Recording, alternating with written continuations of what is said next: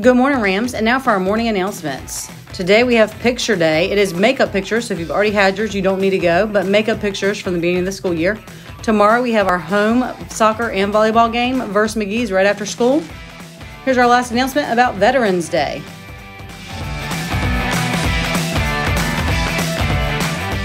And that's it for our morning announcements. Make sure you're following your COVID protocols. Our theme this year is Rams Rise Above. I know you're going to stay safe, do your best, and make us Cleveland proud. Have a fantastic day.